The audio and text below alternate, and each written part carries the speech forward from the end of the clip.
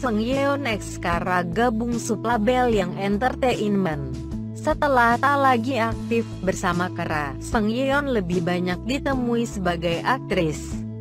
Untuk promosi yang lebih baik, ia pun bergabung dengan manajemen baru. Dikutip dari Naver, Han Seng Yeon baru saja menandatangani kontrak dengan sublabel akting yang entertainment YGX. Kabar tersebut dibenarkan langsung oleh pihak manajemen. Aktris, penyanyi, dan bintang variety Han Seng Yeon adalah talenta yang baru saja menandatangani kontrak dengan perusahaan kami, ujarnya. Kami akan memberi dukungan penuh kepada Han Seng Yeon yang akan mengejar berbagai macam aktivitas. Kami berharap fans terus mendukungnya di masa depan, pungkas manajemen. YGX juga merupakan rumah untuk sejumlah aktor Lee So Hyuk dan Jo Woo Jae.